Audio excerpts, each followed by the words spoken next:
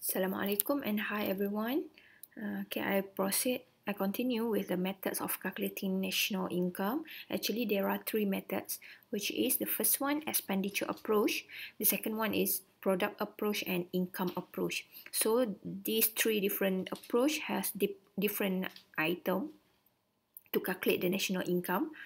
Alright, let's proceed with expenditure approach. Okay, for expenditure approach, there are four components before I, I told you.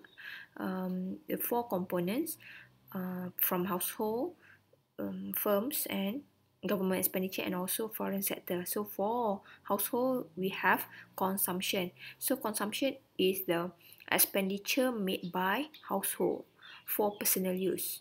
Itu adalah consumption. For the second one is investment. Investment is expenditure made by firms. Okay, for the using uh, of the business. Right, next for uh, government spending, government spend their money for uh, their nation. Okay, to government spending, we denote as capital G. For consumption, we denote as capital C. Investment, capital I. Okay, uh, and for foreign sector, we have export and import. So in under expenditure approach, we have to add, okay, add uh, export and minus import. So export minus import, we calculate as net export. Okay, this is the example to calculate GDP at market price. Under expenditure approach, we add all uh, all the components under expenditure approach. C at private expenditure plus G public expenditure. There are other names for government spending is public expenditure private investment, change in stock. Change in stock pun termasuk dalam investment. Uh, untuk change in stock, kita refer kepada value of the change in, in, stock. Kalau value dia positif, you just tambah. Kalau value dia negatif, minus. And then plus export minus import, you will get the GDP at market price. So mula-mula yang kita nak cari adalah menggunakan expenditure approach ni untuk dapatkan GDP at market price. So you will get uh, GDP at market price and later on we uh, find the gross national product at market price, gross national product at factor cost and national income. So this uh, this for this uh, formula is similar for all three approach. Okay. Uh, so we have the final one we have national income. Next, pro, uh, next approach is product approach. So product approach, we add all final goods and services. Alright, uh, we have basically three sectors: primary sector, secondary sector, and tertiary sector. For primary sector, any kind of product that comes from the nature, for example, agriculture, fisheries, forestry, mining, um, apa lagi? Um,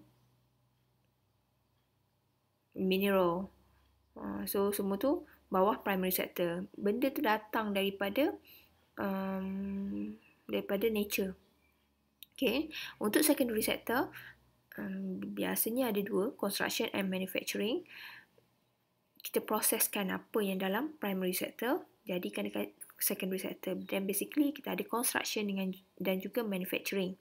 Okay, pembinaan dan juga pengilangan.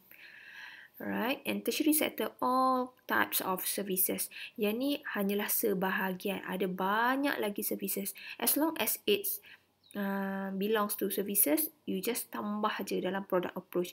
Yang kat sini saya baik uh, antaranya adalah business, tourism, insurance, retail, healthcare, electricity, other other services, government services, um, telecommunication, storage, shipping.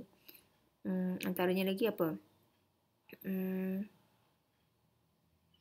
telecommunication, communication, transportation, uh, finance, mm, banking dan banyaklah.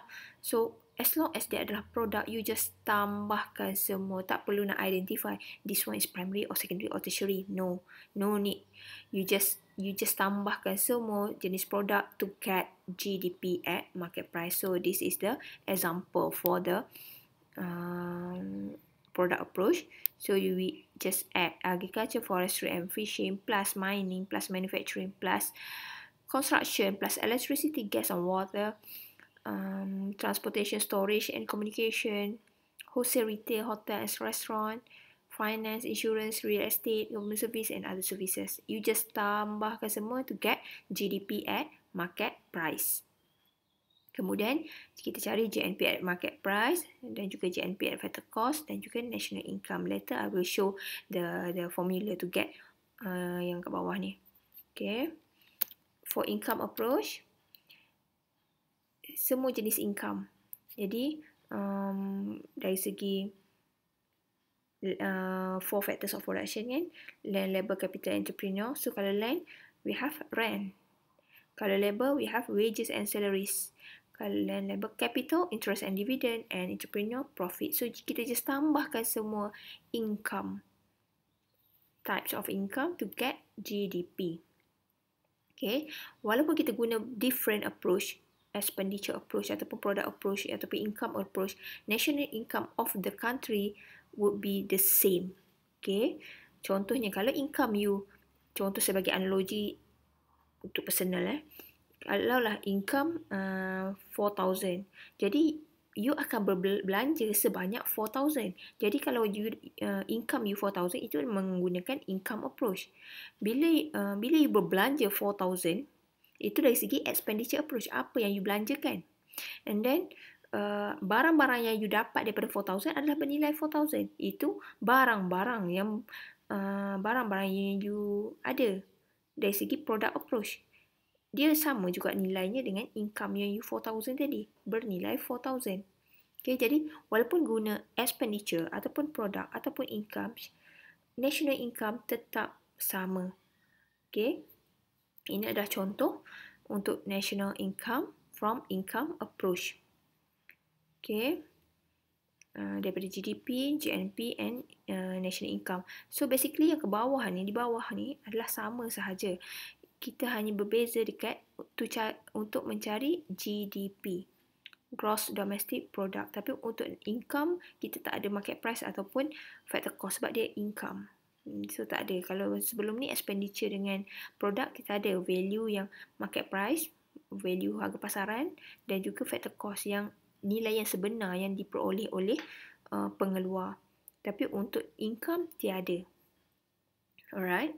Faham ya dan kemudian saya nak explain uh, how to okay the formula to cut GDP MP GDP GNP MP so a lot of formula. Jadi saya simplifykan dalam bentuk uh, flow chart. Boleh jadi flow flow diagram macam ni. So dia start daripada GDP at market price. Ini adalah permulanya okay kalau you main game ini adalah permula dia Okay, GDP at market price. So, macam mana you nak dapat GDP at market price? Depends on item yang ada dalam soalan. Contoh kalau item tu majoritinya adalah expenditure, you guna dalam bentuk expenditure approach. Kalau dalam bentuk um, kalau dalam bentuk uh, product, so sebagai product approach. Tapi startnya kat sini. Ini adalah permula GDP at market price. And then next question. Kalau lah next question diminta GNP at market price. So, you pergi laluan ini. GDP at market price. Daripada domestik tukar kepada national. You ingat lagi domestik. Semua uh, semua produk, semua produk yang kita produce dalam negara tu sendiri tak kira lah warga negara apa. Yang ni GNP. JMP kita nak tengok warga negara sahaja. Jadi you tambah dengan NFIFA. Apa maksud NFIFA? NFIFA adalah net factor income from abroad.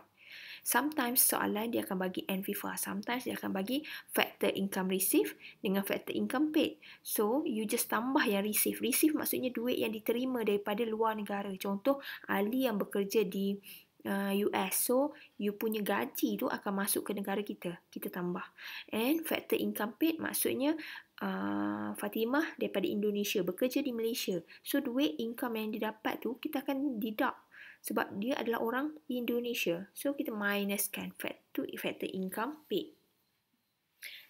Dan kita akan dapat GNP MP. Kemudian soalan tanya to calculate GNP FC for example.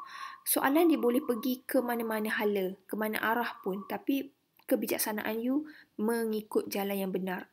Okey, untuk GDP M, GNP MP. daripada GNPMP nak tukar kepada GNPFC, market price nak tukar kepada factor cost, you jawapan yang you dah dapat GNPMP ni, contoh jawapan B, minus dengan indirect tax plus subsidies, you akan dapat uh, jawapan untuk GNPFC. Indirect tax adalah tax yang tak langsung. Sebagai contoh, kadang-kadang diguna term tax on expenditure. Once you berbelanja, beli KFC, beli McD ataupun beli apa-apa barang dikenakan tax 6%. Kalau kita sekarang SST 6%. Itu adalah indirect tax. Uh, so penggunaan uh, term dia indirect tax sometimes diguna tax on expenditure. So you dah dapat JNPFC, kemudian soalan bertanya pasal berkenaan dengan national income ataupun net national product at factor cost. Ini adalah benda yang sama, national income ataupun net national product at factor cost. That's why saya buat macam ni. National income atau net NNP at factor cost FC. So daripada G cross nak tukar kepada net, you minus dengan depreciation. Daripada national income, nak dapatkan personal income, you just tambah transfer payment minus corporate income tax minus retained earning minus Uh, social security contribution minus insurance premium minus KW, KWSP ataupun EPF. So you will get nilai personal income. Dan daripada personal income, you akan dapat uh, untuk dapatkan disposable personal income, personal income minus personal income tax. And you will get disposable personal income. Okay, itu laluannya kalau begini boleh jadi soalan dia lepas GDP MP nak tanya GDP FC. So you ikut jalan yang uh, ke bawah ni. Daripada GDP MP kepada GDP FC. GDP MP minus indirect tax plus subsidi kepada GDP FC. Sometimes soalan dia bertanya GDP MP terus kepada net. Okay, GDP MP net domestic. NDP MP. Daripada gross nak tukar kepada net. Gross tukar kepada net minus depreciation. Dan lebih memudahkan mengikut soalan tu you tengok dia punya uh, flow. Jalan yang mana. Boleh jadi ke sini. Uh, boleh jadi ke sini. Sometimes GDPMP dah minta kepada GNPMP. And then next question GDPFC. So you tak you jangan reverse. Ha, saya tak ajar ni eh, reverse nanti you pening. Jadi you start balik daripada yang mana GDPMP dah ada jawapan tadi. Mungkin daripada A nak dapatkan C. Okay terus kepada GDPFC. Okay jangan reverse. Alright. Ia akan tambah lagi mistake untuk pengiraan. Alright. You cuba cuba ingat formula ni uh, insyaAllah dia lebih memudahkan untuk you uh, menjawab dalam soalan nanti. Alright, next. Untuk transfer payment. Transfer payment such as pension. Transfer payment adalah directly government bagi kepada um, rakyat-rakyatnya, okay? Kepada citizen. For example, pension, okay? Uh, pensioner dia tidak bekerja tapi diberi pension. Scholarship. Uh, uh, unemployment benefit. Kalau yang sekarang contohnya macam bantuan sara hidup uh, package prihatin. You tak buat apa-apa kepada kerajaan tapi kerajaan bagi. Uh, tu maksud transfer payment. Jangan tertukar dengan online transfer. Okay bukannya online transfer you transfer daripada Maybank kepada CIMB no no that is not transfer payment transfer payment direct daripada kerajaan kepada kita and company's profit consists of retained profit distributed profit and company's tax Alright. And this is the example. You may answer this question and the answer I already uh, upload in uh, at the course content kat U Future ataupun Island. You boleh tengok jawapannya. Right.